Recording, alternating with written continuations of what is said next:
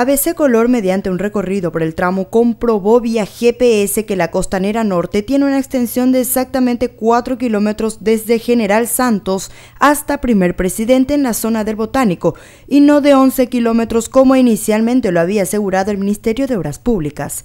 El titular de esta cartera negó que haya un plan de fraude. Considero sumamente injusto eh, hablar de, fraude. El proyecto eh, no era de 11.7 kilómetros, el proyecto eh, de, Costanera 2 que fue licitado por la administración anterior es, un proyecto de aproximadamente 8 kilómetros donde 4 kilómetros tiene el ramal principal y hay otros 4 kilómetros de obras complementarias de accesos.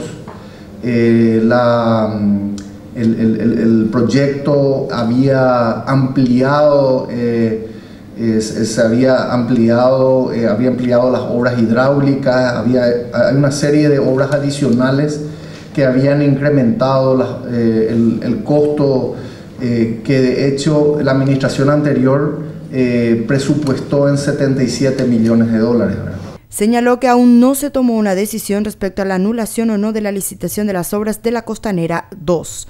La intención es que los trabajos sean financiados por el FOSEM. Ahora con la posibilidad del FOSEM, eh, nosotros eh, vamos a volver a modificar el proyecto porque el proyecto que había sido licitado no une en la parte, la primera parte de, de la costanera con la avenida Ñuguazú. También eh, queremos eh, incluir una, una motosenda en otro orden de cosas, adelantó que el 2014 será un año positivo y se podrán visionar obras de gran envergadura, lo que generará mayor fuente de trabajo. Con imágenes de Huesasi informó Lorena Ponte para ABC Color.